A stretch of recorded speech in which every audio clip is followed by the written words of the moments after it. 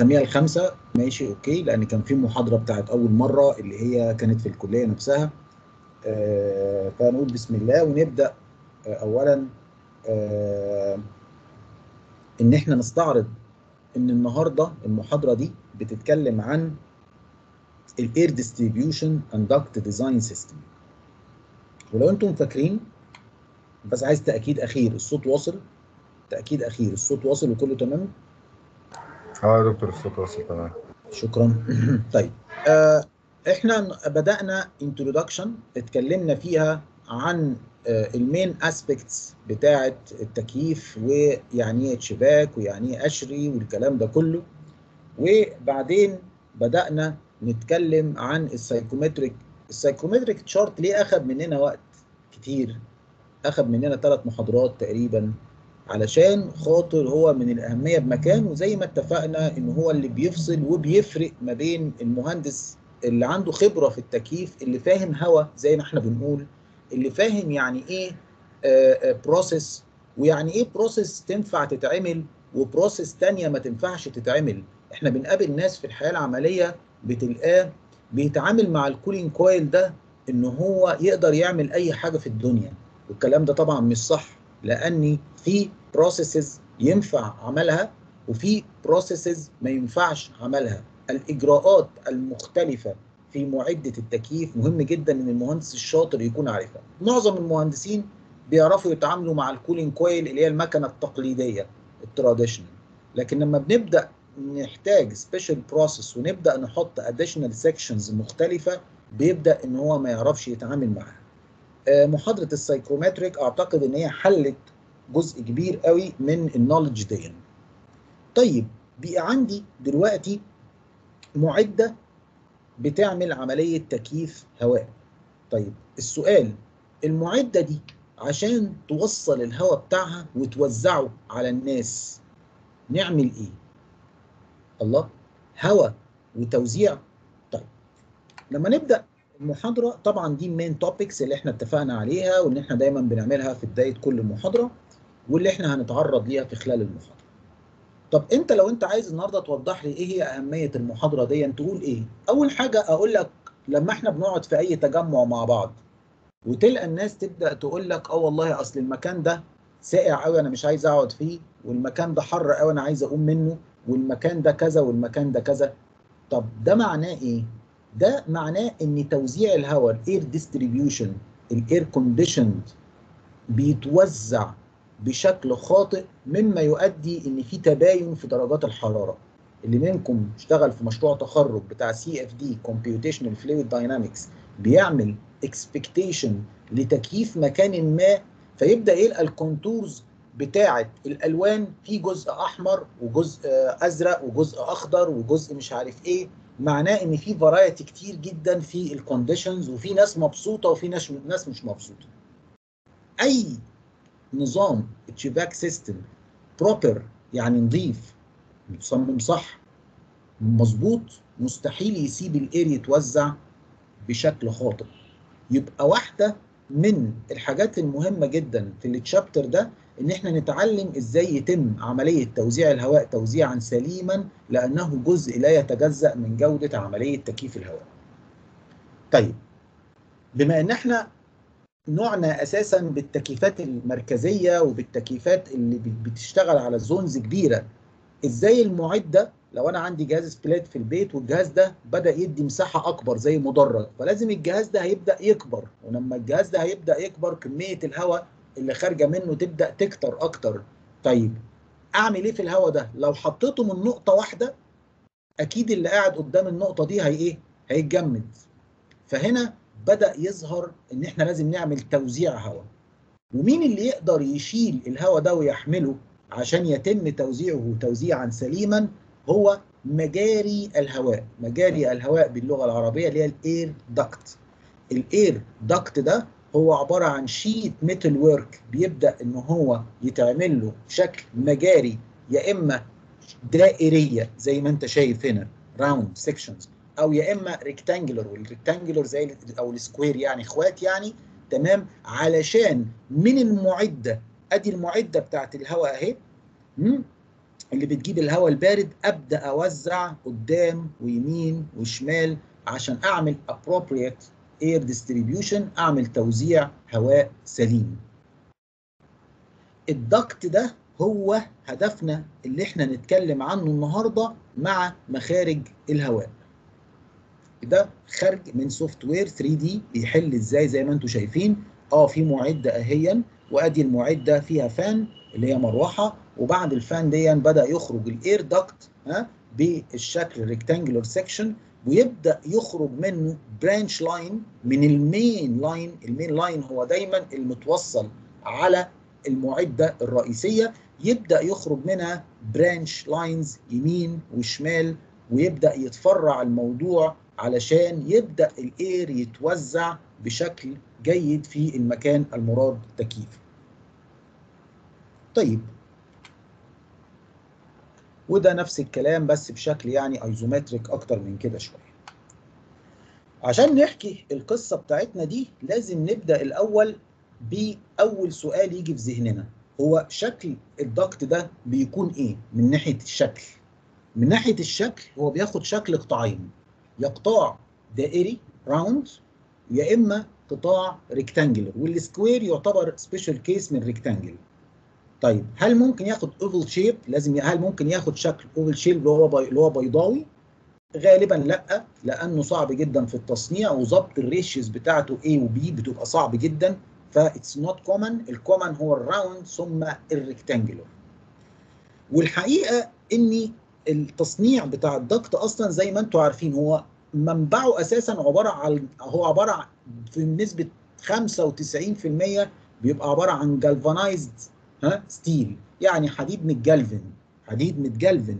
والحديد ده الـ sheet metal ده لما بيتجلفن بيتحط نسبة جلفنة معينة لدرجة إن إحنا أحيانا بنختبرها في الموقع دي بتتوصف وبيبقى فيها بند سرقة كبير جدا. لو كان المقاول عايز اللي هو بينفذ عايز إن هو يسرق من الشغل ممكن يلعب في نسبة الجلفنة لأن دوا مع الوقت بيخلي الكواليتي بتاعة الدكت دي مش أفضل شيء. اذا بكل بساطة اذا بكل بساطة الـ air duct ده هيبدأ يروح يمين وشمال سواء مقطعه دائري سواء مقطعه rectangular عشان في النهاية يروح يرمي الهواء على حضرتك أو على المكان المراد تكييفه من خلال الـ air outlets يبقى أنا عندي العناصر بتاعة الموضوع ثلاثة هي عبارة عن معدة بتطلع تكييف okay؟ المعدة دي اللي هي الـ main cooling equipment متوصلة بـ ducts وفي الآخر الهواء يترمي على الناس بحاجة اسمها air outlet ده يسلم ده يسلم ده اللي انت بتشوفه وانت قاعد في عيادة أو انت قاعد في مسرح أو انت قاعد في سينما أو أو أو ده عبارة عن الـ air outlet اللي بيكون وراه duct اللي بيكون بيغذيه أصلا equipment بالهواء البارد اللي هو الهواء المكيف.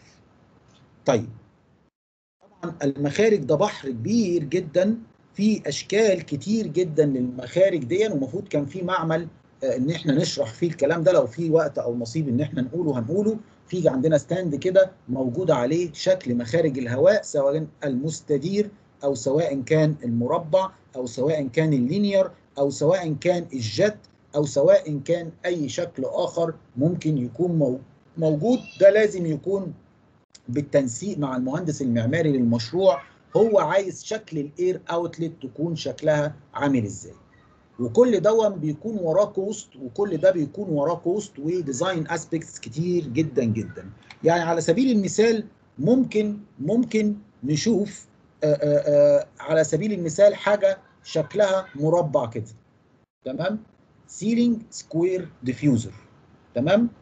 أو إنه يكون الشكل linear مين اللي بي... خلي بالك الـ linear ده أغلى وبالذات لما بيبقى curved ما بقاش linear straight كمان بيبقى curved ده بيبقى أغلى وأغلى. تمام؟ مين اللي بيحدد ده؟ اللي بيحدد ده بالمقام الأول هو المهندس بتاع الديكور الـ ID بالتنسيق مع مهندس التكييف. حسب المشروع ده هو عايز شكله يخرج إزاي وبـ cost كام. تمام؟ لا ده ممكن الموضوع ما يكونش من الـ ceiling ده ممكن يبقى جاي بالـ side زي ده. ممكن يبقى عبارة عن side register أو side grille بترمي الهواء من الجنب. وممكن كمان يكون jet diffuser زي الحاجات الـ double height قاعات المطارات أو الالعاب الرياضية. لما بيتم تكييفها بنستعمل الـ jet diffusers دي لأن هي بترمي من الـ double والـ triple height يعني ممكن من 6 متر من 8 متر من عشان نبدأ إن إحنا نستعمل الـ jet diffusers واحيانا كمان بيبقى من ارتفاع أكبر من كده كمان. اذا الثلاثه اللي ورا بعض هم إحنا قلناهم هم عبارة عن الـ equipment بتاعت التكييف وراها الـ duct وراها الـ air outlet. تعالى النهارده نتكلم أكتر وأكتر عن الـ air duct shape. الـ air duct shape كنا إحنا لسه بنقول من شوية أحيانا تبص على الـ air duct تلقى القطاع بتاعه دائري زي ما انت شايف كده. وخارج منه المخارج ايا كان شكلها.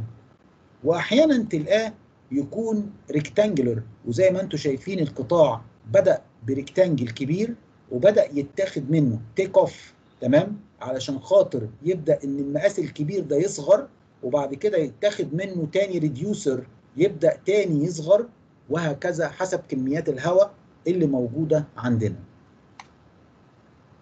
شوفوا بقى اللي أنا بقول لكم عليه شكل الـ duct دايما القطاع بتاعه يصنف في جدول مقارنة كده لو حبينا نعمله إنه إما مستطيل أبعاده H في W أو W في H تمام؟ زي ما إحنا هنعرف بعد شوية اللي هو عبارة عن عرض موازي للـ ceiling الخرسانة مضروب في ارتفاع اللي هو سقوط عمودي على السقف يعني حضرتك موجود هنا بهذا الشكل ده قطاع أو إن هو يكون round الـ diameter بتاعه D طيب لما نيجي نقارن تعالى نفتح كده جدول مقارنة ما بين الاثنين وبعض. أدي أهو الـ round وأدي أهو الـ square section وده كتير قوي السؤال ده بنسأله في الشفوي.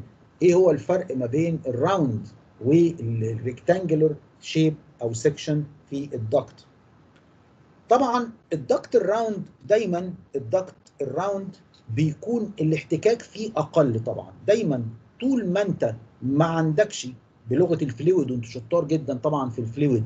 ما عندكش مناطق فيها sharp edge كل ما الشكل يكون دائري كل ما انت ما عندكش مشاكل لو تفتكروا في حاجة اسمها ال boundary layer وال friction اللي موجود. فمعناه إن دايما ال rectangle ده بيكون أكيد more friction عنده more friction عن الإيه؟ عن ال round section دي أول وجه للمقارنة. طب تاني وجه للمقارنة إيه؟ هو من حيث التكلفة. مين فيهم أغلى؟ بصوا دايما ال round ده بيحتاج صنعة ومهارة في الشغل بتاعه خاصة لما بتيجي تغير من مقاس لمقاس. ال duct ال rectangle فكرته بسيطة. هو عبارة عن duct وبيبدأ ال duct يتعمل له تنيات تمام؟ اللي هو يقول لك إحنا بنكسح ال duct تمام؟ والتنيات دي بيبدأوا إن هم يقوموا مجمعينها مع بعضيها ومقفلينها وخلاص على كده. فال rectangular duct دايما هو أسهل في التصنيع وأسهل في التركيب. تمام؟ والقطع بتاعته أرخص. تمام؟ لكن الناحية الثانية ال round duct التعامل معاه بص أنت حتى كده حتى مجرد ما تيجي تبص كده هنا تحس انه لأ مثلا لما تيجي تغير من ده مقاس أكبر لمقاس أصغر القطعة دي ظبطها ال reducer ده مش سهل. حتى لما تاخد take off الفتحة دي مش سهلة إنك تقفل عليها. بعكس ال duct بتاع ال rectangular تحس إنه كله عبارة عن علب بسيطة عبارة عن حاجات سهلة إن هي إيه تتركب مع بعضيها في الموقع بطريقة أو بأخرى. فده بيقلل كفاءة العمالة وسعرها ووقتها فبالتالي دايما هنلقى إن ال rectangular less expensive تمام و easier في ال manufacturing وال installation لو قارناه بال round إيه بال round duct ماشي؟ لكن الحلو ما يكملش. أكيد مين اللي شكله أحلى يا جماعة؟ أكيد طبعا ال round شكله أشيك وشكله أحلى.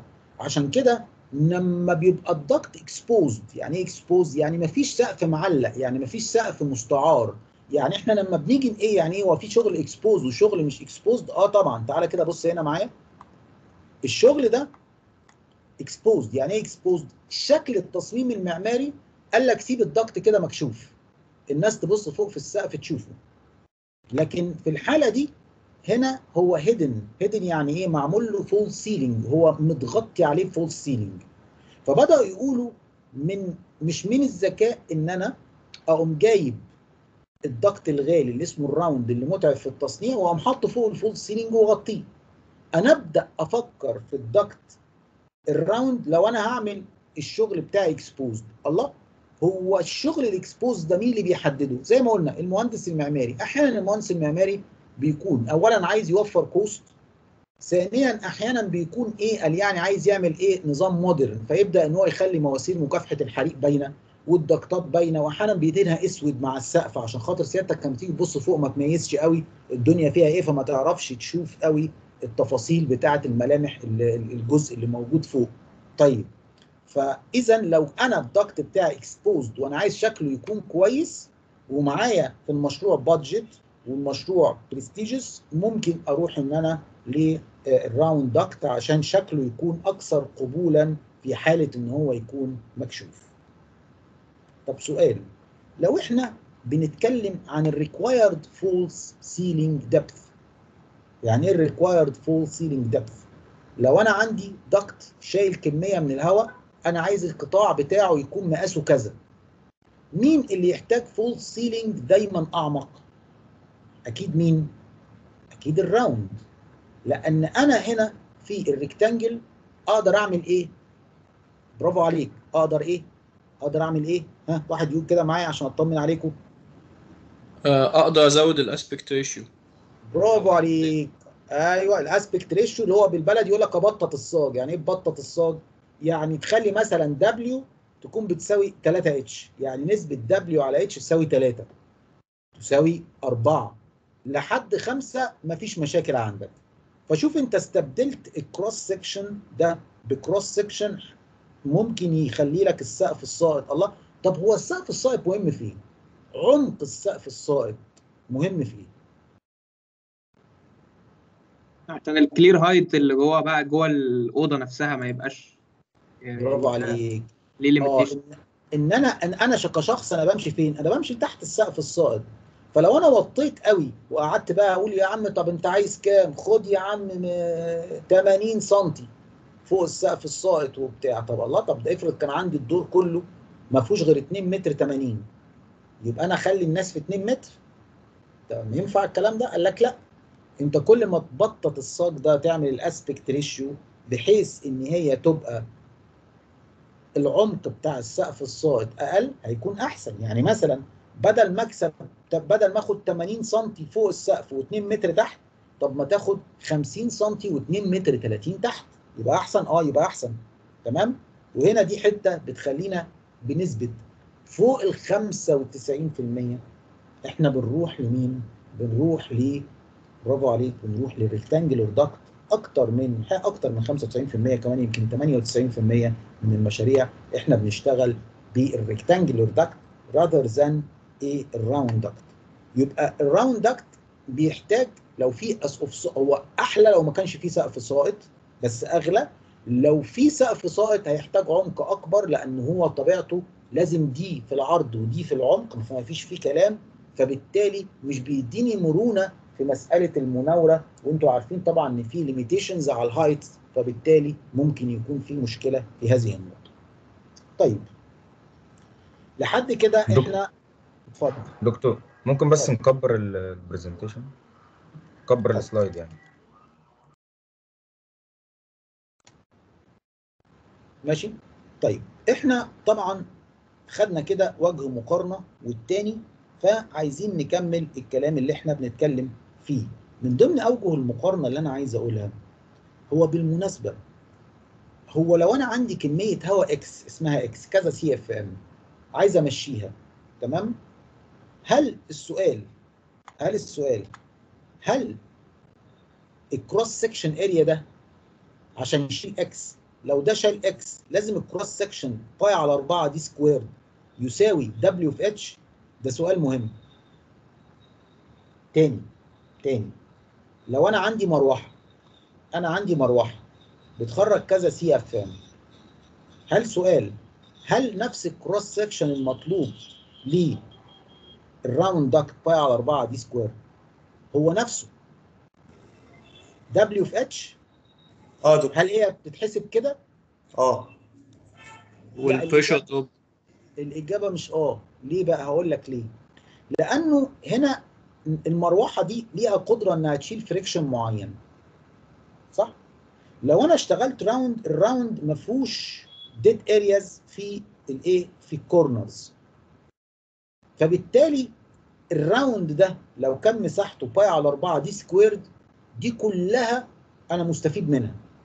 لما بعمل أبدأ ال rectangular shape بيبدأ عندي بيكون في ال corners بيكون عندي eddies وبيكون عندي boundary layers بتخلي ال flow اللي ماشي هنا اهو يبقى عليه friction فأنا علشان علشان نفس المروحة عندي هي هي أنا مضطر إن قيمة W في H لازم تكون أوسع وأكبر من pi على 4 D square فمن الأخطاء الشائعة إن حد يقول لك آه والله يا باشمهندس أنا عندي حتة duct round حوله لي ال rectangular يقوم مش حاسبها بشكل جبري إن pi على 4 D squared بتساوي W في H الكلام ده جبريا ما يتحسبش كده لأن أنا مش بحسب مجرد مساحة وبس أنا كمان عندي حاجة اسمها fluid dynamics حاجة flow بيتحرك مش عايز أخلي ال friction اللي عليه يزيد لو أنا عملت نفس ال pi على 4 D squared بتساوي W في H المروحة دي ممكن تعجز على إنها توصل نفس كمية الهواء X اللي قدرت تمشيه في ال round.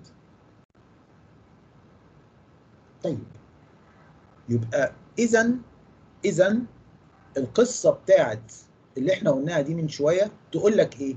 تقول لك إني دايما بنسبة 98% ال round duct لا يستعمل ليه؟ وبيستعمل ال rectangular لأن في معظم الأوقات يا جماعة إحنا عندنا limitation على الارتفاع. ليه عندنا limitation على الارتفاع دايما؟ ليه عندنا limitation على الارتفاع؟ يعني ليه كده ما نمشيش في فوق السقف الساقط براحتنا كده والدنيا تبقى حلوة؟ ليه؟ عشان التكلفة آه، كل لما تكلفة لا، محتاج تزود؟ السقف. لا في حاجة أهم كمان آه في حاجة أهم من التكلفة التكلفة بند فعلا في حاجة أهم إن دايما ها تراخيص المباني حسب الطيران المدني بيكون محدد بارتفاع معين يعني مثلا المنطقة دي ما تزيدش عن 20 متر ارتفاع اي عمارة فيها فالسؤال هل أعمل في ال 20 متر دول أربع أدوار ولا خمسة أحسن؟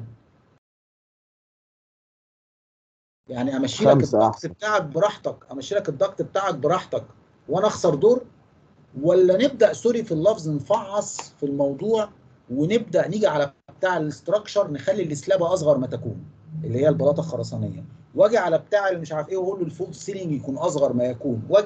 آه يبقى أنت هنا ما أنتش ماشي في الدنيا كده لوحدك. طبعا ده ناهيك عن البند الثاني اللي الباشمهندس قاله طبعا التكلفة تمام والربحية والكلام ده كله.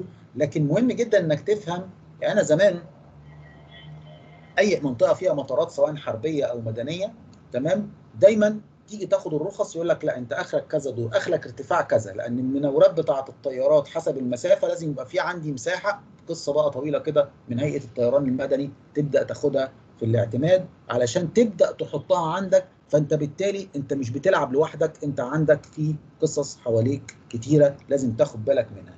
فهتلقى طبعا ده ده بند الأول والبند الثاني البند بقى الأخير إنه طبعا الراجل المعماري يقول لك إيه لا يا باشمهندس لا أنا عايز اللي يقعد في المكان ده يكون حاسس بالارتفاع حاسس بإنه قادر إنه آه، يحس بال بال بال بال بالراحة النفسية كلما زاد الارتفاع. أنا عندي مشروع دلوقتي شغال فيه آه، آه، حاجة يعني في السعودية برستيج شوية.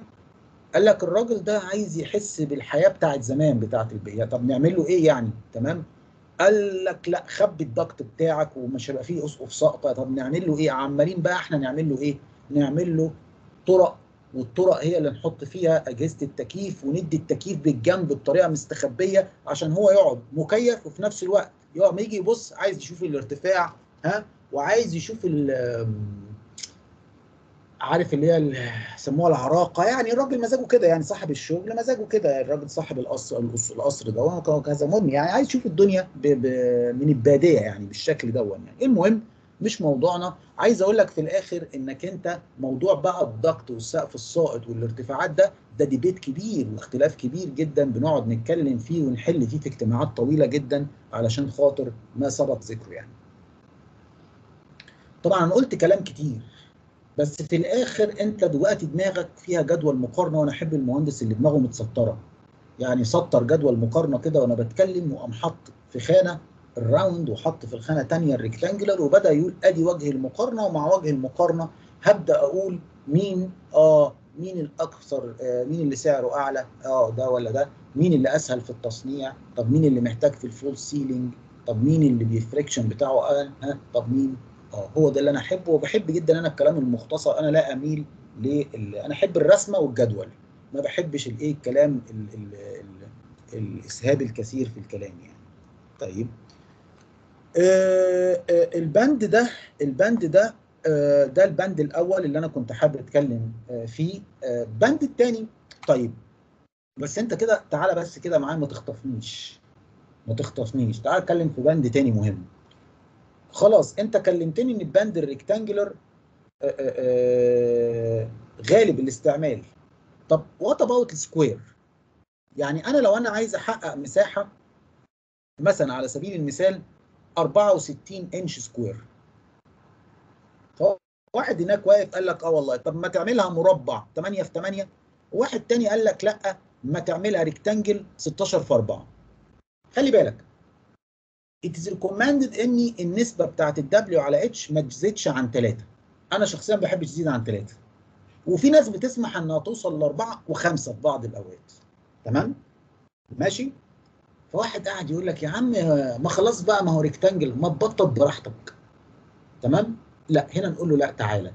كلما كنت أقرب ما يكون لل round كلما كان أفضل. مين الأقرب لل round؟ أكيد طبعا ال square صح؟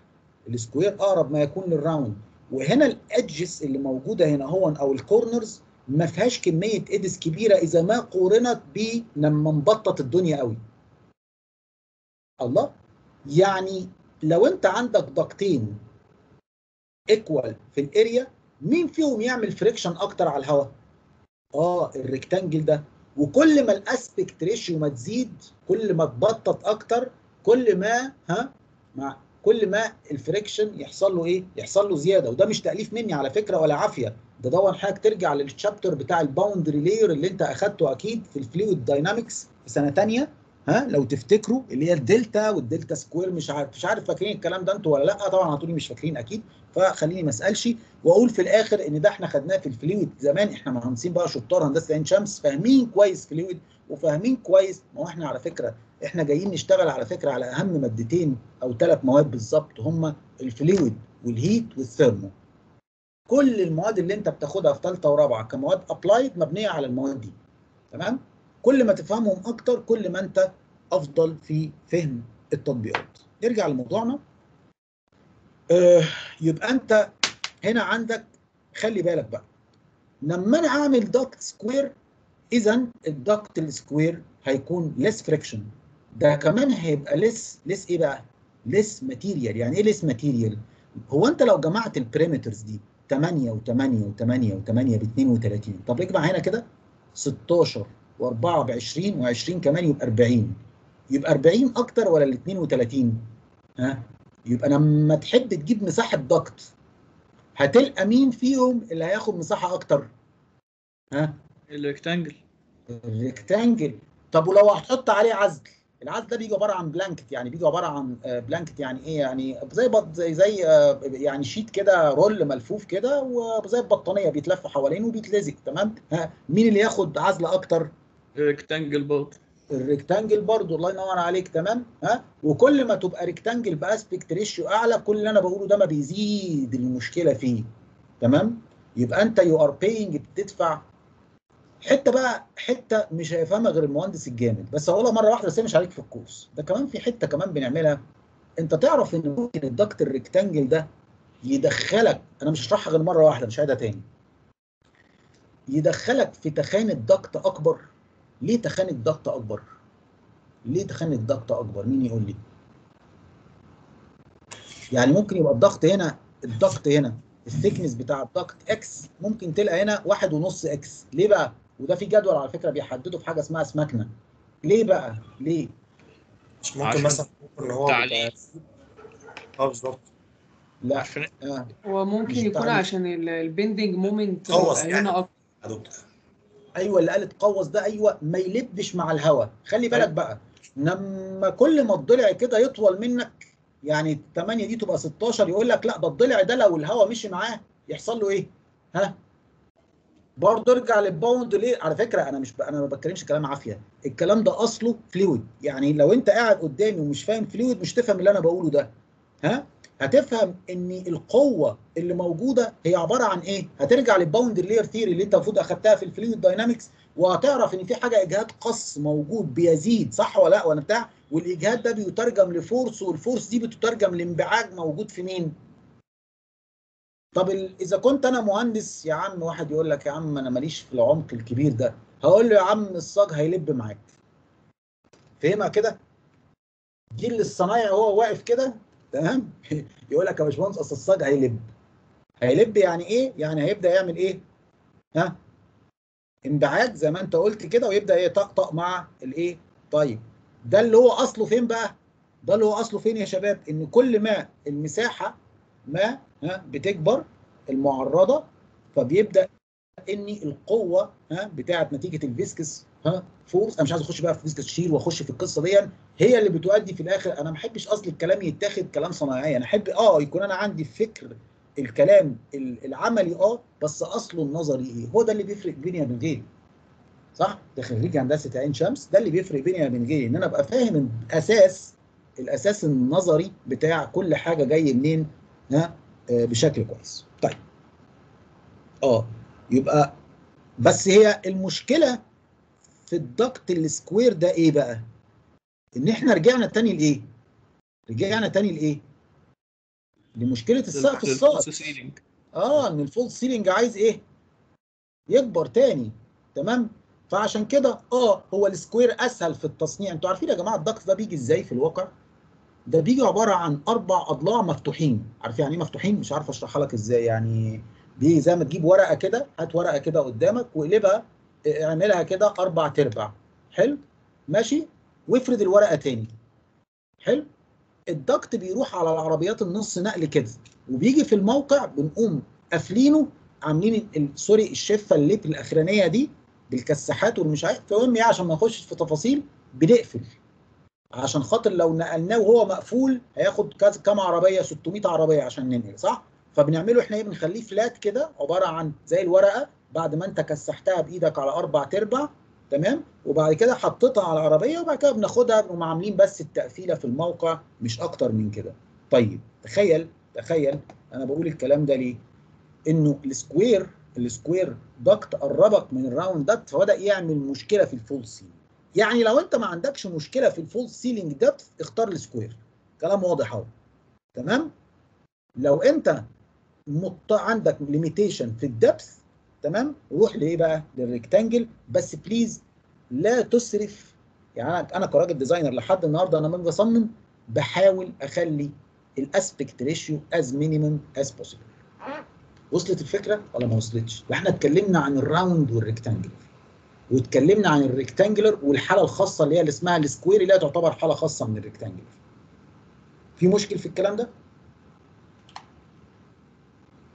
تمام يا دكتور. ال duct material هي إيه؟ مما هذه هي النقطة الثالثة مما يصنع ال duct يصنع ال duct من ال common بنسبة 99% إنه بيصنع من ال galvanized steel. حديد مجلفن حديد وياخد نسبة جلبنه ونسبة الجلبنه دي زي ما قلت من شوية بتختبر. تمام؟ عشان ما حدش يسرقك فيها? طيب. الله؟ في حالة خاصة ممكن نستعمل فيها ال stainless steel؟ وفي حالات خاصة بنستحمل في بنستعمل فيها ال plastics والإيه؟ وال fibers. الحقيقة ال fibers وال plastics نادرة الاستعمال جدا. اللي ممكن ياخد الواحد في المية اللي هو بقية في المية هو ال- ال stainless steel الله تجيب ال duct stainless steel إمتى تجيب ال duct non-metal أو إمتى تجيب ال duct stainless steel ما تجيبهوش حديد مجلفن. طبعا أكيد المقارنة هتقول إيه؟ أكيد الاستانلس ده ماله أغلى أغلى بكتير جدا أغلى بكتير جدا. وما أنت عشان كده إحنا ما بنروحلهوش. ما بنروحلهوش إلا لو كان إيه عندي بقى؟ قال لك في الحالات اللي ممكن إن إحنا نستعمله فيها لو كنا في بيئة aggressive يعني إيه بيئة aggressive مثلا أنا بعمل تكييف لمعمل كيميائي. بيطلع فيه فيه إيه؟ آه أبخرة. الأبخرة دي بتكون aggressive جدا تاكل ال duct. تمام؟ لو أنا ال non-metallic أستعمله إمتى؟ لو أنا بعمل تكييف لحمام سباحة مغلق. أنتوا عارفين جو الكلور اللي موجود في حمامات السباحة ممكن يعمل إيه؟ بيبقى aggressive جدا وبياكل ال duct تلقى ال duct اتبرق اتاكل. تمام؟ لو أنت جبته duct عادي. يصدي ويتاكل يتفاعل ويتاكل تمام؟ فعشان كده بنروح لل non-metallic دايما في الحالات خاصة. هي حالات إنها تكون في corrosive atmosphere سواء كان حمام سباحة أو معمل كيميائي أو كذا أو كذا أو في حالات إن يكون مطلوب hygienic atmosphere يعني إيه hygienic يعني يعني جو نقي. لأنه دايما كلما طلبنا النقاء زيادة مثلا زي بعض ال classified rooms اللي هي بتبقى عالية جدا اللي إحنا بنحتاج فيها إن إحنا نوصل إن إحنا نجيب stainless steel ثم ثالثا بقى وأخيرا ودي مهمة جدا بعض المناطق اللي بتتأثر بال metals زي بعض غرف ال scan بعض أشعة أجهزة الأشعة ربنا ما يوري حد مننا بعض أجهزة الأشعة بتتأثر بالحاجات ال metallic. عشان كده حتى حضراتكم يقول لك اديني الموبايلات اديني مش عارف إيه قبل ما تخش عند الجهاز عشان النتيجة حتى اقلع الدبله وأعمل مش عارف إيه والكلام ده كله. لأن النتيجة بتتأثر بإيه؟ آه ال scan نفسه بيتأثر بال metals فقالوا إحدى وسائل الشوشرة اللي ممكن تكون موجودة على بعض أجهزة ال scan الحساسة ال duct اللي موجود فوق ال false ceiling. فبدأوا يقولوا إن بعض الغرف اللي هي من النوعية دي يا تديها side من بره من على الوش يا إما إنك تخش جوه ب non-metallic إيه؟ ب non-metallic ب non-metallic ducts إذا أنا في نسبة 99% أنا في ال galvanized steel لأنه الأرخص لأنه الأسهل لأنه الأوفر. تمام؟ فما بروحش للاستثناءات إلا لأسباب استثنائية. تمام؟ اللي هي إحنا قلناها من شوية صغيرة. مش شباب؟ فده برضو topic مهم إن إحنا كمهندسين نكون وإحنا بنتكلم عن air duct نكون عارفين دكتور اتفضل. هو إيه ال- يعني ال- حضرتك بتتكلم على ال purity is needed يعني أنا لو أنا عايز نقاء في الجو فدلوقتي ال galvanized steel بيأثر إزاي على نقاء الجو؟ لا طبعا لأن هو معرض مع الوقت آه، إن هو بيجنزر وبيبدأ إنه يعمل rust عليه وبيبدأ الهواء الرطب دايما بتاع التكييف مع الوقت. بشئنا أم أبينا آه، بيخلي لما نيجي نعمل measurements على الهواء مع الوقت. يعني أفتكر كان في مستشفى من المستشفيات بدون يعني بدون ذكر اسمها السلام الدولي يعني. كان برضو من ضمن المشاكل اللي هي كانت معمولة من سنة 80 تقريبا.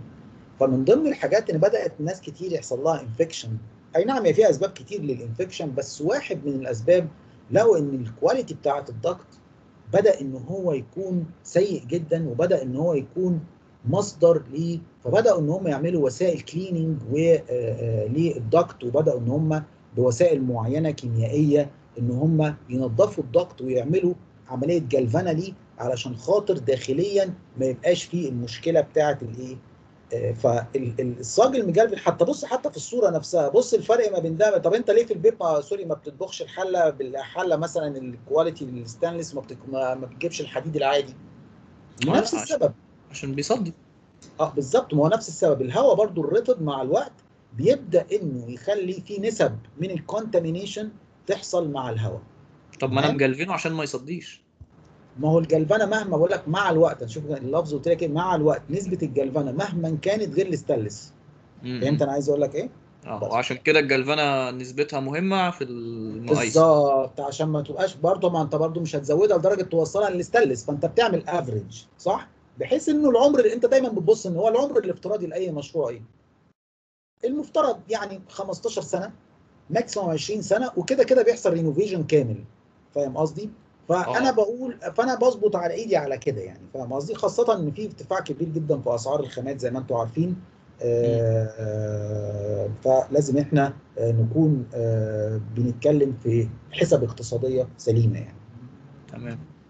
بقى عندي duct؟ واتكلمنا عنه تمام؟ بس ال duct ده لو كان شايل هواء exhaust ما يهمنيش. لكن لو شايل هواء مكيف لازم أعمل له إيه؟ لازم أعمل له حل لمشكلة ال dew point temperature لو أنا سبت ال duct شايل الهواء الساقع وماشي كده إيه اللي هيحصل فوق السقف الساقط إيه اللي هيحصل؟ تنقيط. إيه التنقيط؟ سبب التنقيط إن الجو الهواء اللي جوه ساقع درجة حرارته 11 12 وأنا في يوم حر وماشي في, في مثلا في بدروم أو فوق سقف ساقط أو في منور الجو حر جدا فيه. وأنا درجة السطح بتاعي لأن أصلا الساق ده ده بيبقى يعني أقل من ده ده, ده الكسور من من ملي. تمام؟ فبيبدأ إنه يبقى بارد من بره فيبدأ يحصل عليه condensation فتلقى مع الوقت إن ال duct ده عمال ينقط ميه من بره. هو مش بينقط عشان خاطر الهواء اللي جواه هو بينقط عشان ال condensation اللي من الجو اللي حواليه. طب الحل إيه زي ما إحنا كنا بنحكي لو تفتكروا في ال psychrometry من شوية؟ ها؟ نعمل إيه؟ نعمل عزل. آه. فال insulation دون اللي أنت بتحكي عليه هو ده ال topic الرابع أو مش فاكر الرابع تقريبا في هذه المحاضرة. ال insulation بيمنع ال condensation. بس كمان غير ان هو بيمنع ال condensation حتى لو ما حصلش condensation دي حاجة مهمة جدا كمان لازم لازم عشان خاطر- خاطرها أحط العزل هي إيه؟ إن أنا أحمي أحمي ال energy اللي أنا دفعتها آه هو أنا يعني حاطط فلوس مبرد الهواء بيها كهرباء وغيره وغيره وأجي أقوم ممشي ال duct بتاعي بدون عزل فيقوم ال duct دون واخد heat من جنابه ومن فوق ومن تحت ألقى هوب اللي أنا مثلا اللي صرفته ضيعت 5 10% منه وأنا ماشي كلاصص في الضغط ينفع كده؟ فطبعا قال لك لا لازم نعزل الضغط علشان خاطر إيه كمان نعمل إيه؟ عشان خاطر آه آه نمنع مسألة إن هو آه اللوس بتاع الكولينج اللي أنا عملته. كمان سبب كمان يمكن هو سبب يمكن ثانوي لل duct insulation إحنا أحيانا بنعمل duct insulation من بره واحيانا بنعمل حاجة اسمها duct من جوه duct insulation duct liner من جوه عشان ال noise ده يمكن في بعض الحاجات آه، لو كانت المعدة آه، قريبة قوي من مكان حساس لل noise بنخاف من ال noise بتاعة الجهاز فبنبدأ نعمل عزل داخلي وخارجي علشان خاطر آه، ال noise trans إيه transmitted بوجه عام اذا ال duct insulation ده حاجة مهمة جدا للأسباب السابق ذكرها وغالبا ال duct insulation ده بيجي عبارة عن زي ما أنتم شايفين كده roll أو blankets وبيبدأ إن هو يتفرد ويتلزق ويتعمل له أحزمة في الموقع بطريقة معينة علشان خاطر يعمل إيه؟ يعمل ما سبق ذكره بالنسبة لل duct لكن وأنت شغال لازم تفهم. سؤال مهم جدا وبحب أسأله دايما للناس. هو أنت ال duct ال indoor زي ال outdoor يعني إيه outdoor يعني أنا دلوقتي بنشرح في مدرج مثلا وليكن مدرج رقم ألف مثلا يسموه إيه دلوقتي؟ وكان عندي المعدة بتاعة التكييف موجودة فوق السطح. حلو؟ المعدة دي نزلنا ب duct يعني بننزل نزلنا ب duct ين duct بيدي الهواء duct بتاع ال return. فاكرين ال S وال R بتاعة الأسبوع اللي فات؟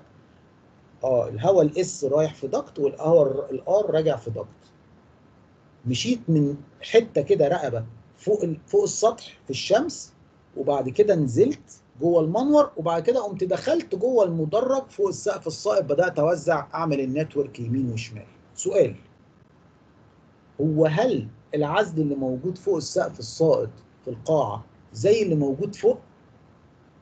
قال لك لا ده دي منطقة indoor ودي منطقة outdoor طب تفرق؟ قال لك آه أول حاجة تفرق فيها إن ال outdoor دي معرضة لل harsh weather لل weather الشديد جدا في عز الحر وفي عز البرد.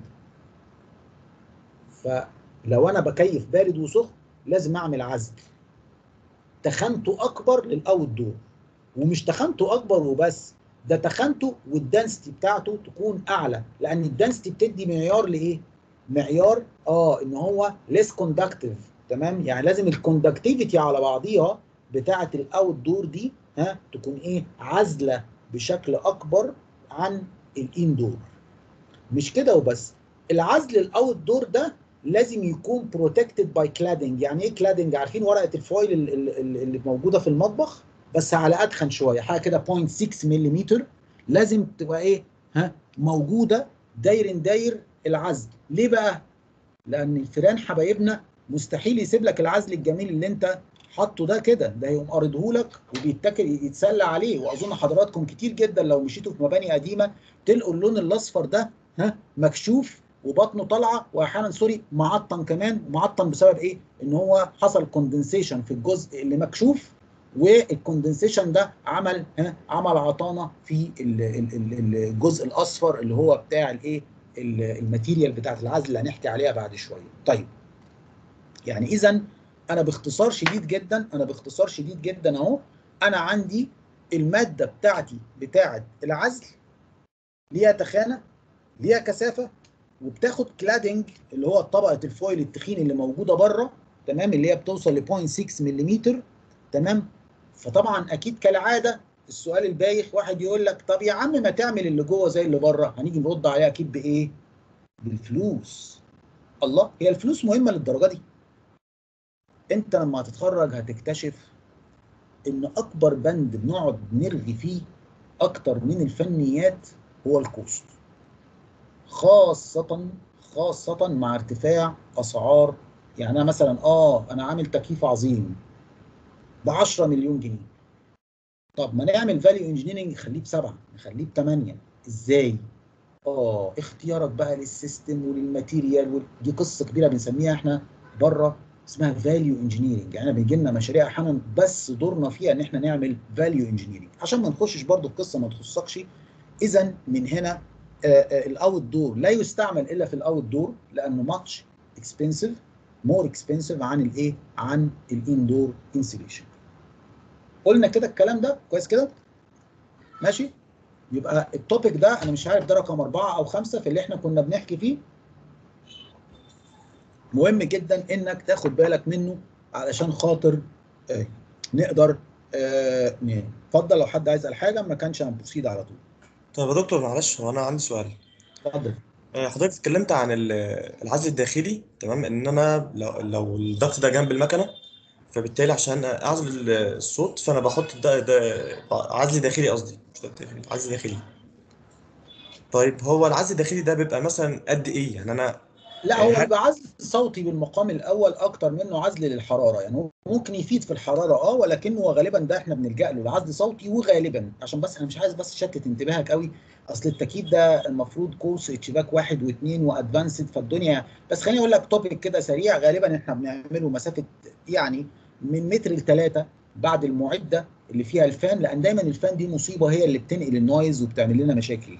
فغالبا بنعمل العزل الداخلي في بعض المشاريع اللي ال noise فيها بتكون critical little bit عشان خاطر نعمل منع للصوت. واللي منكم على فكرة ما أعرفش أنتوا بس خلاص أنتوا في ال term الثاني في course أنا ما أعرفش هو إجباري عندكم ولا لأ آه، اللي هو بتاع دكتور تامر النادي آه، اللي هو بتاع ال vibration مش عارف هو إجباري ولا لأ عندكم. ال course ده على فكرة رائع. المهندس اللي بياخده بيزود له حاجات آه، أنا ما أعرفش هو دكتور تامر النادي برضه ولا لأ اللي بيديه الحقيقة بس يعني ال course ده من الكورسات اللي ال- الرائعة لو قدرتوا إن كنتوا حتى تاخدوه آه، لمعلوماتكم أو هو كان دكتور. خدناها والله خدناها. يبقى أنا عذرا يبقى أنا بس دماغي قديمة شوية معلش سامحني.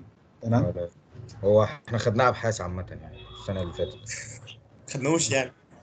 شفتوه فيديو يعني. طيب ماشي. يلا نخش على بعده. نخش على ال duct fixation إيه حكاية ال duct fixation دي؟ ده يمكن ال topic رقم خمسة أو ستة في المحاضرة. هو إحنا بنثبت ال duct إزاي في الموقع؟ آه بنيجي على مسافات معينة أدي ال duct وأدي العزل بتاعه وبنقوم حاطين ها metallic strip بيسموها زوي في في ال الجماعة ال- في الموقع إخواتنا الصناعية. وبنقوم حاطينه على threaded rod اللي هو عمود الاكمون برضو بلغة الصناعية. وتحتيه صامولتين ولا بتاع ماشي؟ ونثبت ده في الخرسانة فوق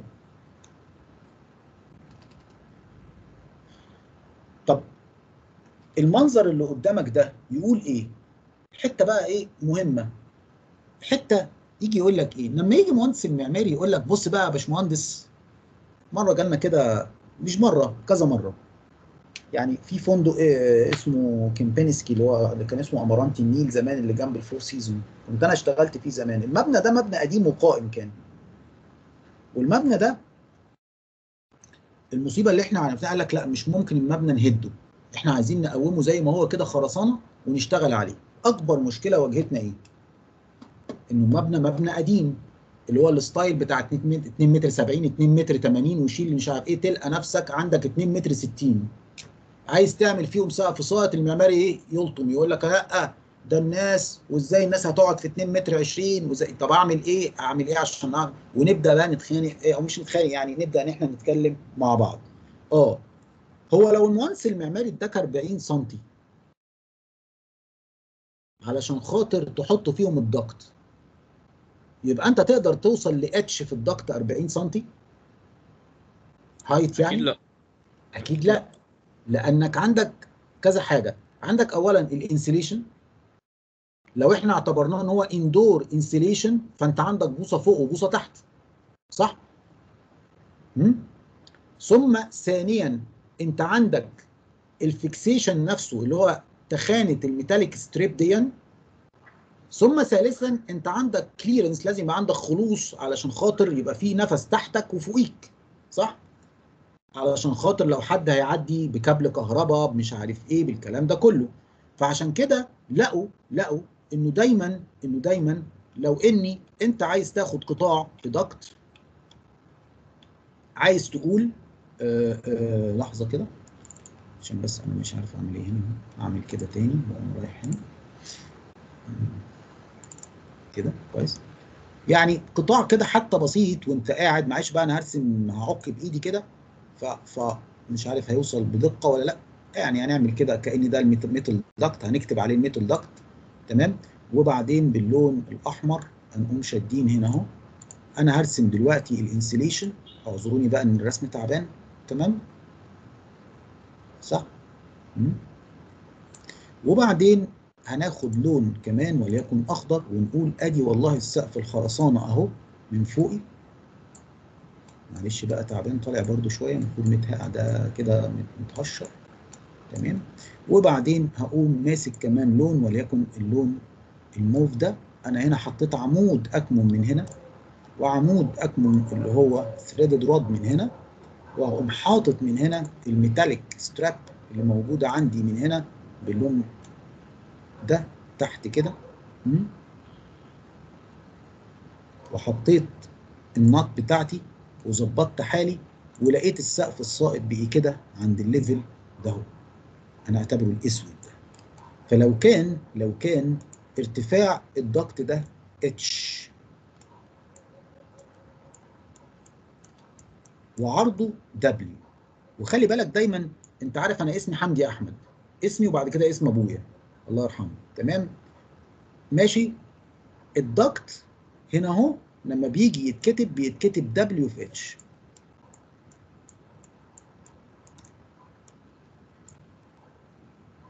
دايما اسمه بيبدأ بالعرض وبعد كده ال depth. فانت عينك أول ما تروح على مقاس ال duct تروح على فين؟ ها؟ تروح على مين؟ تروح على على ال H ده على طول. لو أنا بتكلم عن عمق بتاع الايه السقف الساقط هل السؤال بقى هل ده اتش هل ده اتش هل ده اتش ها؟ قال لك لا تعالى. H مين بقى؟ اولا عندك بوصة وبوصة عزل. يبقى دول اتنين بوصة كده على طول للعزل. صح كده؟ يبقى ده H زائد اتنين بوصة ده بتاعت العزل. وكمان عندك عشان خاطر الاستريبة اللي تحت بال clearance وفوق لو حد عدى ب installation كابل كهرباء ولا حاجة عندك كمان inch و inch كمان يبقى عندك 2 inch ك clearance وكأنك عايز تقول إيه؟ أن عمق السقف الساقط عمق السقف الساقط ها لا يقل عن عمق الضغط مضافا عليه 4 إنش اللي هم ال 10 سم دون كده كإيه؟ كحد أدنى. إن أنا أضيف إيه؟ إن أنا أضيف هنا 10 سم اللي هم إحنا اتفقنا إن البوصة تقريبا هنعتبرها 2.5 سم يبقى أنت لما يجي تقعد في اجتماع أول ما يقول لك أنا هديك سقف 40 سم يقول له يا باشا 40 سم دي يعني عمق الضغط عندي 30 سم ما أقدرش. تمام؟ أو أقدر حسب بقى المشروع أنت يعني مش غتاته وخلاص يعني. صح؟ ماشي كده؟ okay؟ فانت لازم المعلومة اللي توصل لك انك اي.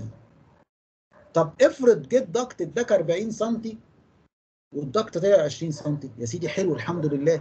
يعني أنا مش هقول له بقى لازم. ده كويس. عشان خاطر أنا عندي خدمات تانية. هو في ماسورة ال fire fighting هتعدي إزاي؟ طب هو الراجل بتاع ال cable tray هيعمل إيه؟ هو أنا لوحدي ماشي في الدنيا؟ لا أنا عندي خدمات تانية فوق السقف. آه فال worst scenario لما أنا أقول إن أنا هعدي محشور محشور يعني كده آه عشان كده لما أجي أديك مسألة أقول لك آه عندك سقف ساقط عمقه 50 سم وأنت تعمل لي إن ال H 50 سم يبقى كده أنت فقدت الدرجة دي. ما تزعلش مني لازم تطرح إيه؟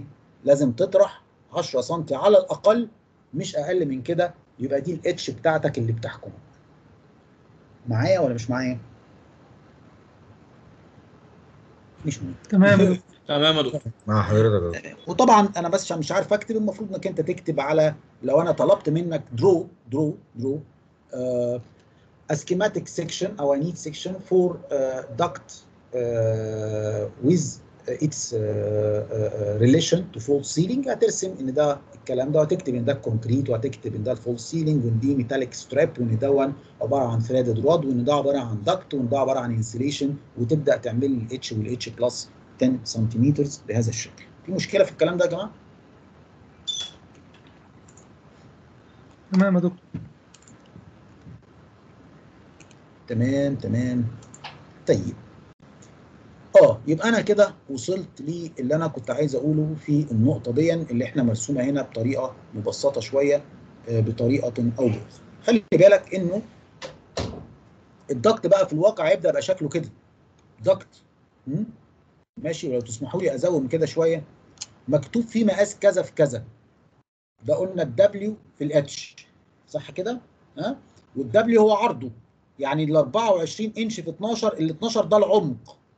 12 انش اللي هي 30 سم اضربها في 25 مللي صح كده؟ أو 2.5 سم يطلع معاك إن أنا بس حافظها عشان أنا متعود عليها تمام؟ يعني ده عمقه 30 سم عرضه اللي مرسوم ده كام؟ يعني اللي مرسوم ده هو ال 24 انش ولا ال 12 انش؟ ال 24 لأن ده ده plan لو section هرسم مين؟ ال 12 ده without الاتنين. insulation. ده without ده بقول لو لو هترسم section لكن ده plan واضح جدا. طب مين قال لك إن ده plan بالمناسبة؟ يلا مين قال لك إن ده plan ما الباب أهو. يلا سيب الكنافة بقى وخليك معايا. صح الباب أهو. صح الباب أهو. الراجل أهو صح أهو باين عليه ما بياكلش حاجة أهو. طيب أهو الباب باب. يبقى الباب يعني مش هيبقى صح. يبقى ده ده ده ب double طبعا. باب الشقة بتاعنا single ده باب double عشان دي قاعة conference room عامل لها باب double طيب بالمناسبة إيه اللي مرسوم ده؟ إيه اللي مرسوم باللون الأصفر ده؟ ده ال false ceiling اللي المعماري عامله. واللي أنا رسمه linear ده؟ هم هنا اختاروا شفتوا الشكل الخطي الشيك اللي كان مرسوم؟ شكله شيك قوي بس غالي بس دي conference room ممكن إن أنا بالتنسيق مع المعماري ومع المالك عشان يبقى شكلها شيك إن أنا أعملها linear. وأدي اهو المكان ده واضح إن هو واخد من مكانتين مكنة يمين ومكنة شمال. وادي اهو ال duct جاي اهو. هتقولي جاي منين؟ يا سيدي حسب المشروع يمكن جاي من من من من من, من منور جاي من سطح جاي من غرفة ماكينات جنبيها. عمل مكانتين يمكن علشان خاطر ال limitation على ال capacity وعشان خاطر ممكن لو إن في مكنة بايظة يبقى شغال ب 50% ماشي okay. يبقى هنا عندك يمين وشمال identical وأبدأ أدي المخارج. 1 2 3 4 5 6 يمين و6 شمال يعني الإجمالي 12 وبزق أنا الهواء بتاعي من خلال ال duct وكل ده طبعا قلبه 45 درجة وده قلبه 45 درجة. تمام؟ وبعدين بقوم رايح إيه؟ ها؟ في قلبه 90 ده قلبه 45 المهندس اللي شغال إيه؟ مهندس كده رايق عايز يشتغل ها؟ من ناحية ال fluid. آه فاكرين ال fluid؟ ها؟ فاكرين؟ فاكرين ال friction؟ فاكرين ال minor losses طيب مش مهم. ماشي؟ عايز يهدى شوية على ال duct وبعد كده قام دخل بدأ يعمل reducer في الثاني وهو ماشي عشان خاطر يوصل الهواء للمخارج وبالتالي تبدأ الناس اللي هنا يحصل لها air conditioning دكتور. تقدر تعمل شوية elaboration على موضوع ال sizing بتاع ال duct وهو ده اللي هيبقى عليه أسئلة ال sheet بتاعك تمام؟ و تعالى نعمل شوية elaboration ونشوف الموضوع فيه إيه. مش too much elaboration لكن النهارده خلينا نبدأ ب how to size a duct تمام؟ ببساطة. وده يبقى الجزء التالي في المحاضرة. اتفضل. فين ال return؟ هقول لك يا سيدي. ال return هنا بيتلم يعني أنت دي سبقت أنت فيها شوية. ده ال return بيبقى عبارة عن فتحة بيتلم ك plenum من السقف الساقط يعني هي بس الرسمه هنا مش مكتملة. الرسمة هنا ممكن تلقى إن السقف ال false ceiling ده بيتلم فيه ال return من خلال الفتحات دي وهم هو بيشفط ال return من على وش السقف الساقط تمام؟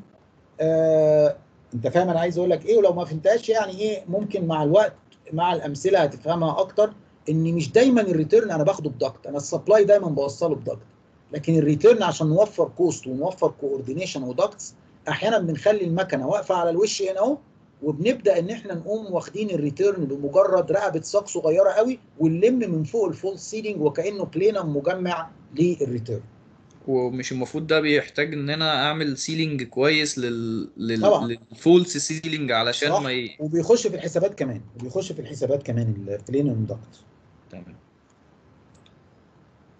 آه، اذا وبكل بساطة آه، قواعد تصميم ال duct ات اولا ال standard size بتاعت ال duct هي ماشية من أول 10 سم فما فوق. أنا حقيقه ما بحبش مقاس ال 10 سم اللي هو ال 4 إنش.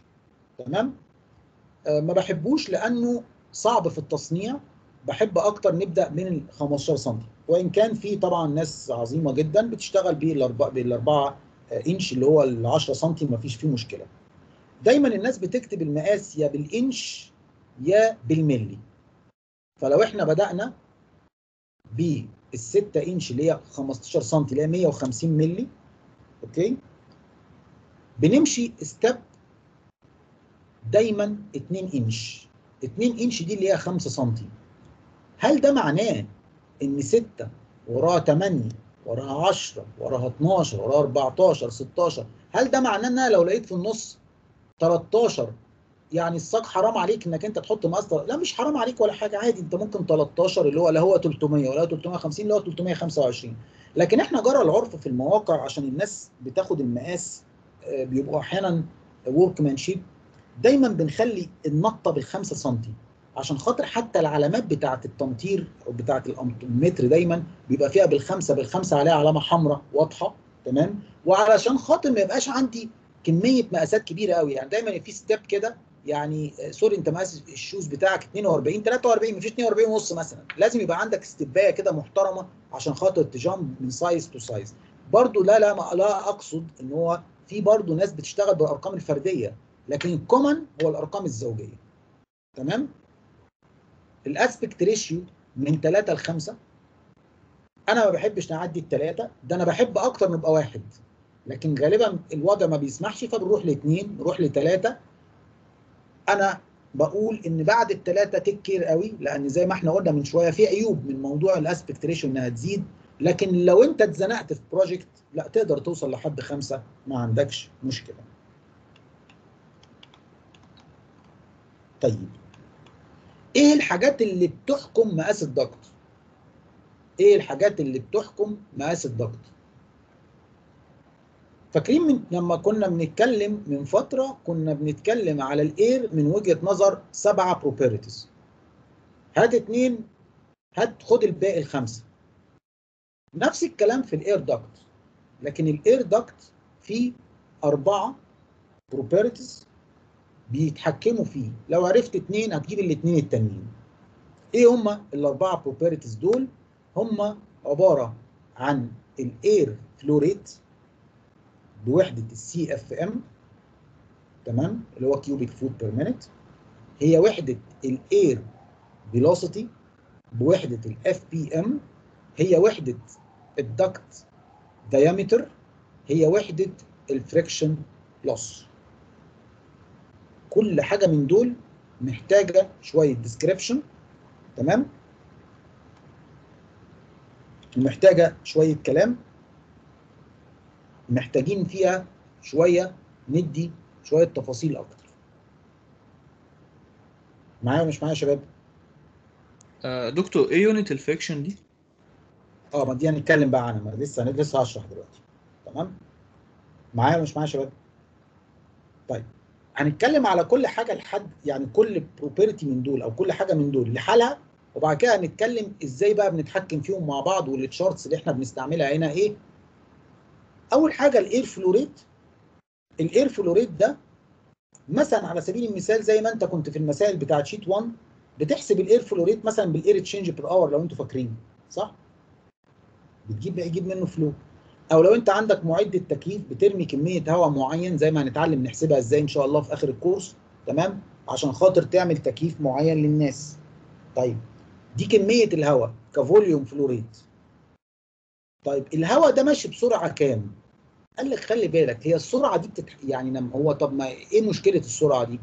إن أنتوا عارفين كلكم إن كلما إيه؟ إن ال flow بيساوي area في velocity صح؟ كل ما أنا عايز أصغر ال area ما هو ال duct ده بفلوس صح؟ فلو أنا عندي flow 10000 CFM عايز أزود السرعة عشان خاطر أقلل القطاع. طب ما تزود السرعة. يحصل إيه لما تزود السرعة؟ ده بيعمل بقى زي الصفارة صح؟ بيعمل زي ما انت بتيجي تصفر ببقك فتقفل عشان خاطر تعمل noise عشان تعمل صوت صح؟ فال duct يبدأ يصفر ويعمل noise معاك.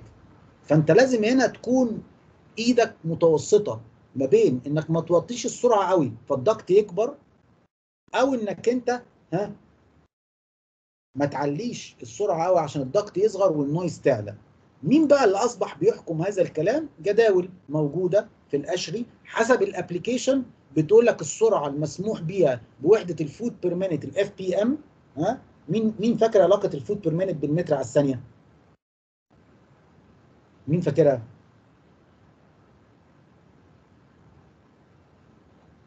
مين فاكرها؟ المتر على الثانية كان إيه علاقته بال foot per minute تقريبا. كان بيساوي كام. تقريبا؟ ثلاثة ثلاثة إيه ثلاثة دي ثلاث أضعاف. انت يا جدع انت انت بعرف بتهبد وبتاع. أنا ما انت بتاكل إيه؟ بتاكل إيه دلوقتي؟ انت بتكلمني. أنا كده دخلت على الكنافة. كنافة؟ لا خليك في الكنافة اللي بتاكلها. لا مش ثلاثة أي كلام وهبد وخلاص. ها؟ ها؟ المتر على الثانية بيساوي إيه؟ مش مهم هو تقريبا بيساوي 200 foot per minute تمام؟ ودي بتساوي تقريبا 200 foot per minute إيه السبب؟ إيه السبب في هذا الكلام؟ إيه السبب في هذا الكلام؟ إنه بتحويلة بسيطة جدا أنت عندك المتر تقريبا بثلاثه وكسر لما تحول لل foot ثلاثة وثلاثة من عشرة آه، ده كان قصدي. الصراحة. طب كمل طيب كمل طيب وإن هنا بنقول إيه انت هنا بتحول من ها second ل minute فانت لازم إيه على الثانية ليه؟ foot per minute يبقى لازم كمان تعمل إيه يا باشمهندس؟ ها تضرب في 60 كمان. كمان. صح؟ فاحفظها 3 و3 من 10 في 60 تقريبا تساوي 200 يعني خليك معايا بقى سيبك من الكنافة وخليك معايا. لو انت النهارده السرعة بتاعتك 1000 foot per minute بتساوي كام تقريبا متر على الثانية؟ 50 خمسة. 50 آه يا جدع يا جدع.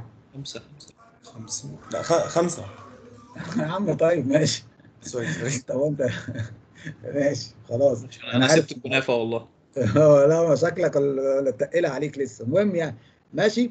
طيب هو الحقيقة إنك أنت عندك ال1000 دي بتقسمها على ال200 فبيطلع إن هي 5 متر. الحقيقة إن السرعات زي ما أنت شايف بتاعة الجدول ده وغيره من الجداول اللي موجودة في كل ال ال ال ال references بتقول إيه هي القيمة بتاعه ال duct velocity تمام versus إيه؟ versus ال application يعني زي ما أنت شايف مثلا أنا لو أنا في residential مثلا السرعة بتاعت ال supply duct تبقى 1000 توصل ل 1000 1000 دي اللي هي 5 متر على الثانية. residential عشان الناس هتنام طب لو أنا مثلا دخلت في آه، آه، ال office آه ممكن توصل ل 2000 طب لو أنا دخلت في industrial في مصنع مهم بقى المصنع بص وصل ل 3000 الله 3000 دي تعمل إيه يا باشمهندس؟ 3000 دي تعمل إيه؟ ها؟ ليه ليه ليه عملت noise. 3000 آه لأن أنا ال noise هنا ما بقتش criteria مهمة. ده أنا في industrial ده أنا في مصنع. ففي المصنع أنا ما يهمنيش قوي ال noise صح كده؟ ها؟ صح ولا لأ؟ يبقى أنا كده آه ما يهمنيش هنا ال criteria بتاعت ال noise قوي في هذه الحالة. طب سؤال سؤال برضو ممكن حد جامد برضو يرد عليه. هو أنا لو أنا في هاطل أو لو أنا آه، في application حساس لل noise إمتى ممكن أخلي السرعة عالية وما يهمنيش؟ وأكسر القواعد وأصغر ال duct وما عنديش مشكلة. إحدى الحاجات اللي ممكن تخليني أعمل كده هي إيه؟ نعمل عزل مثلا للأوضة مم، آه، يعني آه، لو أنت هتعمل sound attenuator اللي هو عبارة عن مخفض ده بفلوس طبعا بنحطه بس في حاجة تانية. لو في مصنع يا دكتور أو حاجة فمش لا أنا هيهمني بتكلم عن هاطل دلوقتي. إمتى تكسر القواعد بقى بتاعت ال 1500 والكلام اللي مكتوب ده؟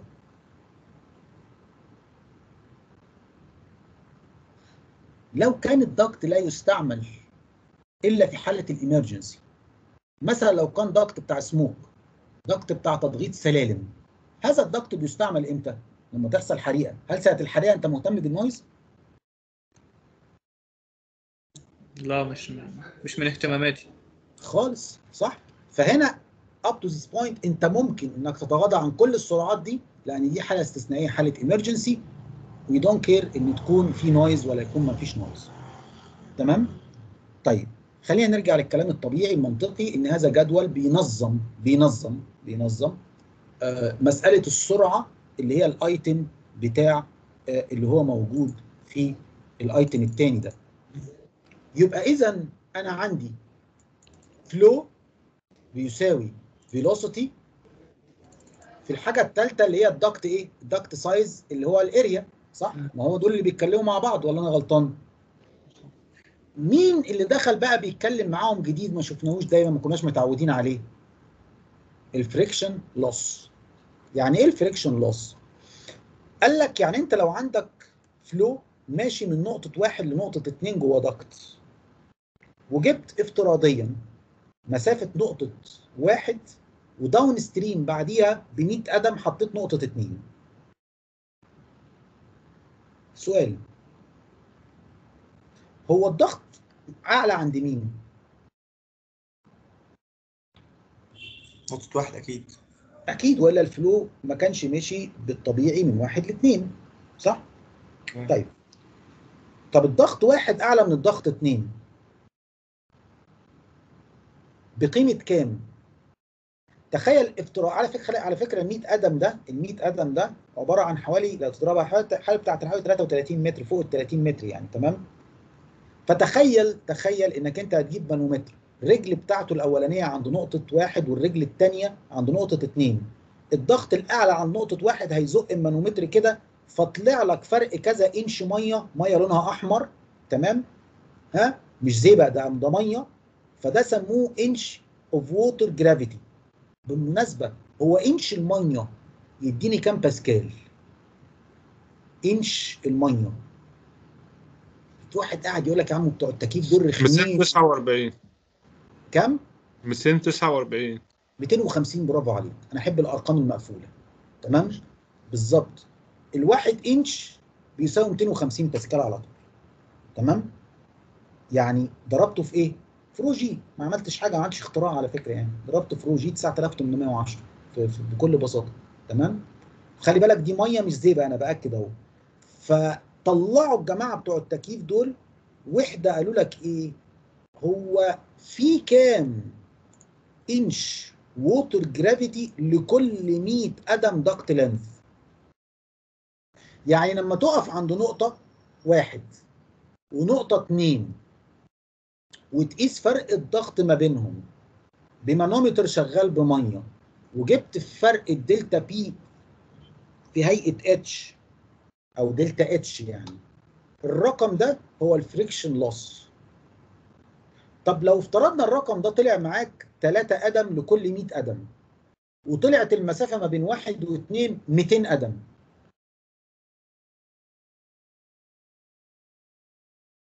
تاني لو اعتبرنا إن الضغط اللي ماشي فيه ال- الهواء تمام؟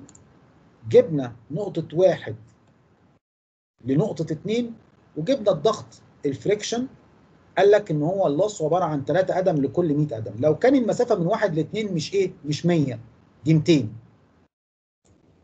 يبقى الف- الفقد قد إيه؟ يعني نضرب في اتنين هضرب في اتنين. كأن واحد معاه 200 جنيه هيفكها 200 صح كده؟ مم. خليك فاكرها كده. لما أقول لك أنت معاك لا يا عم المسافة 250 ها؟ يديك كام؟ ونص. بالظبط.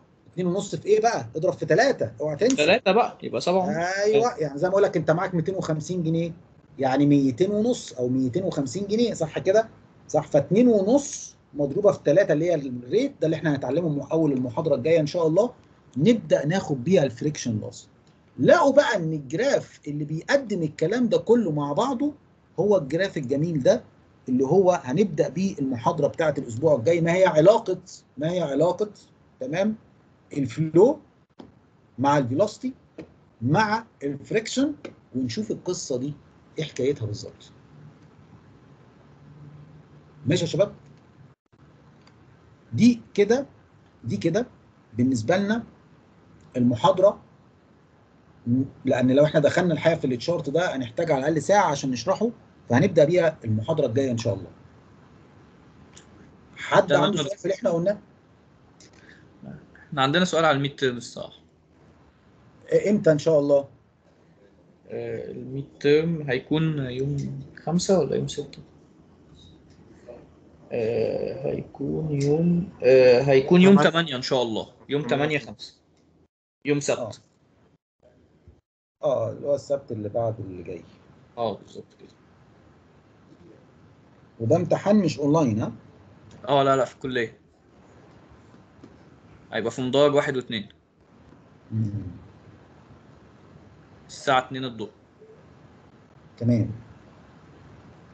هو الامتحان بوجه عام آه، هنشيل شيت واحد مش عايزينه. مم. وهنركز على ال psychrometric. تمام. هيبقى مسائل بس. صح؟ مفيش نظر. إن شاء الله. مثال بس. ماشي. قول لي عايز تسألني في إيه كمان؟ ما تجيبش chart معاك ولا حاجة. تمام خلاص يعني هو هيبقى sheet وا... آه، sheet اتنين اللي هو sheet ال psychrometry ومحاضرة النهاردة مش داخلة صح كده؟ ومفيش نظر. لا مفيش نظري ومحاضرة النهارده مش هدخلها. ماشي تمام يا دكتور. تمام كده؟ تمام. طيب. اللي إحنا عارفينه إن الأسبوع الجاي شم النسيم أنا ما أعرفش أنتوا هتاخدوا محاضرة ولا مش هتاخدوا محاضرة في شم النسيم؟ لا شم النسيم يا دكتور بقى عايزين نشم مش طيب يعني أنتم أنتم أنتم آه الأسبوع ده. طبعا اولا كل سنة وطيبين كل سنة والناس طيبين عندهم أعياد كلهم ربنا يخلي أيامنا كلها سعادة إن شاء الله كلنا ثانيا آه، خلينا آه خلينا نوقف المحاضرة اللي جاية ونتقابل على ال mid term على طول تمام في ال psychrometry آه بعد المحاضرة آه أنا مش عارف آه إحنا لازم هناخد آه، إحنا إحنا يعني إحنا النهارده خليني بس كده معاكم لحظة. آه كويس يعني بس كده لحظة معاكم بس لحظة. لحظة واحدة. طيب. شوف بقى إحنا هنعمل إيه. آه أنت بتقول إنك عندك امتحان يوم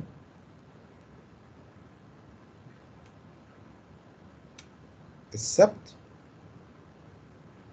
الموافق كام؟ أنتوا رحتوا فين مني؟ 8 5 8 5 آه هو الأسبوع ده كده كله هيبقى كله امتحانات؟ ولا آه هنبدأ من- هنبدأ من الأربع الجاي لحد إمتى؟ بتاع الأسبوع ده آه لحد إمتى؟ لحد قبل بيومين يوم 11 يوم 11 آه 11 5 11 5 بالليل هيبقى عندنا محاضرة. قبل ليه العيد يا دكتور؟ ليه؟ ده إحنا إحنا ما إحنا إحنا عايزين نعيد خلاص يبقى, يبقى نشتغل الأسبوع الجاي.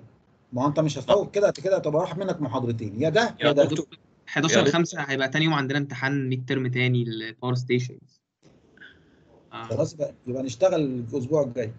طب يا دكتور دكتور الأسبوع يعني الجاي هو أجازة يعني إحنا لو ال academic عادي calendar فيها الأسبوع كان هيبقى. أجازة ال academic calendar فيها أجازة الأسبوع الجاي يعني سبت حد اتنين تمام وإحنا واخدين الثلاث هدنة والأربع امتحانات ماشي وبعد كده بتهددني يعني؟ هنخش في العيد الصغير على طول أيوه هو وهو عامة بتهددني بالأكاديميك كالندر ولا إيه؟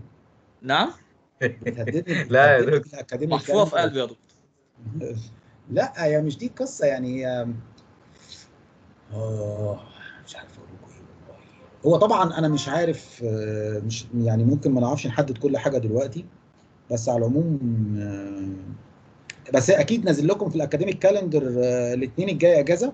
آه آه أبعت لحضرتك ال academic calendar بعد ما هو أنت مين؟ أنت مهندس عمر ولا مين؟ آه أنا عمر. آه طب بعتها لي يا مهندس عمر عشان بس أبقى أنا مطمن إن أنا كده يعني إيه؟ لا لا أبعتها لحضرتك حاضر. تمام؟ آه، ولو ما كانش كده يبقى إحنا هنتقابل بقى later يعني احدد معاه مع مهندس عمر واقول لكم أنا مش هقدر احدد دلوقتي من غير اولا عشان كمان عايز عايزين نطمن هل الامتحانات هتتم ولا هيتم تأجيلها برضه ده نقطة إحنا مش واثقين منها لسه. يا ريت تتأجل. آه مش بإيدي يعني طبعا أنا بقول لك لو حصل وإنه حصل تأجيل الامتحانات يبقى إحنا هناخد محاضرة عادي صح آه كده؟ طبعا لو لو في تأجيل آه، إحنا. مواعيدنا العادية خالص. يبقى هنفوت شم النسيم والأسبوع اللي بعده هناخد محاضرة. فعشان كده بقى خلينا flexible شوية كده ما نقعدش دلوقتي نحمل على نفسنا. إحنا حددنا ال mid term فين خلاص. تمام. خدنا محاضرة ما خدناش محاضرة خلاص الموضوع انتهى. ال mid term في الحتة اللي أنا قلتها دي خلاص. تمام؟ تمام. في ال- في التو في التو أنتوا خدتوا كام آه، خدتوا كام آه، sheet في الموضوع؟ هو اثنين وثلاثة اتنين وتلاتة. هم اتنين وتلاتة دول هيخشوا في امتحان. هنسيب واحد عشان ما نقعدش نربككم تمام؟ وهناخد اتنين وتلاتة بتوع ال psychrometry تمام؟ ومش هناخد أربعة. أربعة مش هيخش اللي هو الجديد اللي هو بتاع ال- الهوا ده okay؟ بتاع ال air ماشي. كده يا شباب؟ المواعيد بقى هنظبطها إيه؟ هظبطها مع المندوب بتاعكم عشان أنا ممكن دلوقتي يكون كل ال calendar مش قدامي يعني. تمام. تمام يا دكتور. بسيطة يا دكتور. باشا. بالتوفيق وشكرا جدا وكل سنة وأنتم طيبين. طيب. حضرتك طيب مع السلامة.